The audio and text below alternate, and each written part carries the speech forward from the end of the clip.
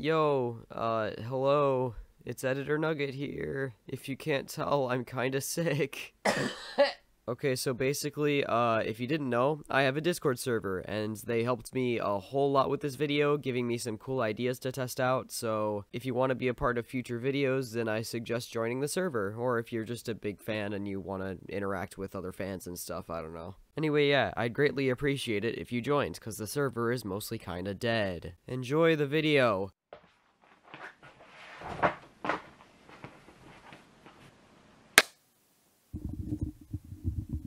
Smartphones. They're like a computer in your pocket, right? That's how they're advertised, at least. However, in reality, they can't really compare to a desktop. Smartphones lack the software support of a true desktop, and as a result, every simple task that you can do with a PC or laptop becomes 10 times harder. This especially applies to things like web browsing, where websites tend to look like this. However, companies like Samsung and Huawei have tried to close that gap by having their phones turn into desktops the moment they're plugged into a display. While it isn't going to fix software support problems, it will make desktop tasks significantly easier. So, in today's video, I'm going to be spending a week with Samsung's desktop OS and giving you my thoughts. I didn't know how to segue to an intro, so here you go.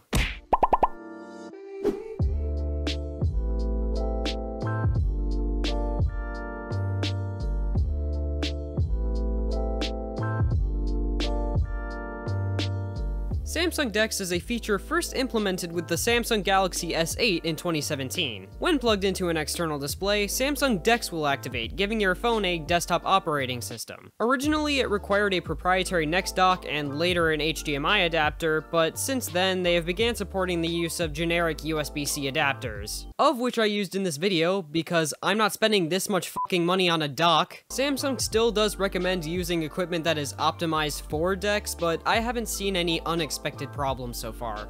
Another feature that was added later on was wireless and Windows DeX, allowing you to display the DeX interface on a smart TV or computer respectively. I personally have no use for either of these features, but it does make things like maybe posting to Instagram or showing pictures and videos to family and friends significantly easier. The design strongly reminds me of Chrome OS with a similar styled start menu and rounded taskbar.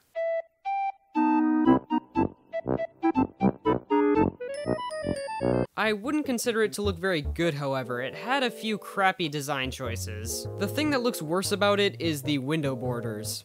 Putting thick window borders in an operating system aiming to look modern is an awful idea. In terms of functionality, it's pretty similar to your average desktop OS. Navigation is the same, desktop icons are the same, multitasking is the same. For the most part, it's quite similar to the likes of Windows, macOS, or Linux. One thing I did find quite unique were these navigation buttons. Their functions are mostly the same as they are in base One UI. The back button functions as a back button, the home button minimizes all windows, and the task changer button opens recently closed. Recently closed is the only navigation button I really found useful since it allows you to reopen applications right where you left them. The other ones didn't really seem necessary in my opinion. I spent the first day just setting up the desktop and it felt pretty normal. Everything felt pretty similar to any other operating system, but with a bit of an Android feel to it. After I finished setting up, I began testing social medias while also looking for a Samsung DeX supported screen recorder. Sadly, Samsung's built-in screen recorder doesn't seem to work with DeX. I'm not sure why they haven't added support for it, but most apps on DeX basically run as if they're on a tablet, so they don't feel exactly optimized for desktop usage. The only apps I used in this video that were supported by DeX were Remote Desktop Connection and Google Chrome. Everything else pretty much felt like I was running BlueStacks. It wasn't as bad as you would think though, it was just slightly less convenient. I'm sure if you were actually running DeX on a tablet it would feel much better, but in my case I'm basically just using it like a laptop. One thing I did find quite awful though was the window management. It's clear they haven't really developed in this field. Cue the 5 minute clip of me just trying to put two windows next to each other.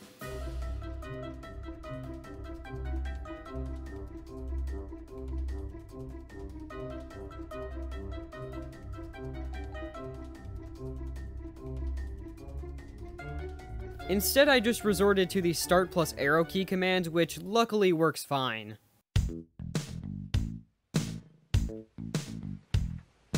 Alright, so today I want to try running some games through Samsung DeX. I do already have a few. I know that Roblox just flat out does not work. I'm pretty sure 2048 might work fine. Oh my god, the ads.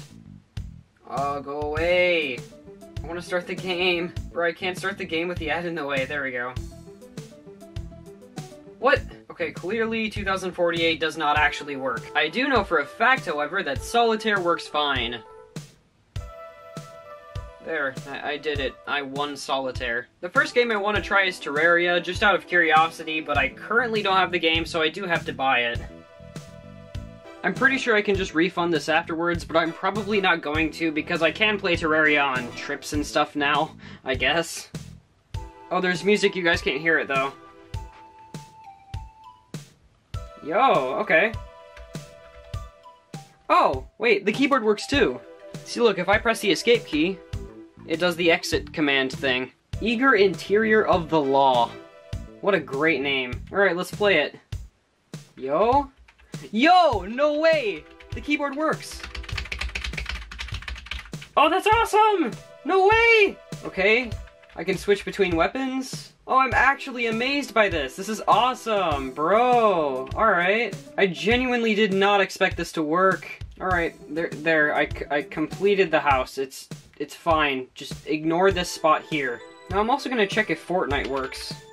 Oh wait, it's it's downloadable on the Galaxy Store. I could have just done that. Install. I I think I get it now. So they want you to download the Epic app so you can install Fortnite. That makes more sense. Oh my god. I just want to play Fortnite!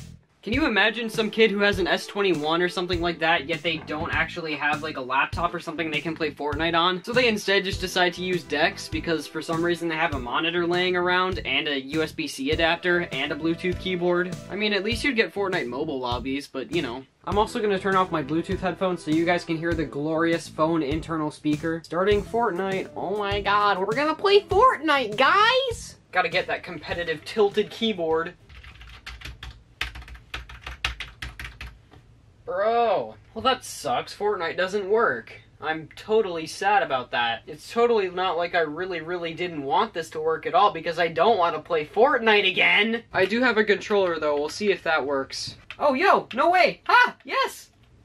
Actually, no, because that means I have to play Fortnite. Um, can I skip? B. I'm pressing B. B. I'm not interested. It's the cube from season five. How frightening. Fucking skip. Oh, I have to press and hold. no!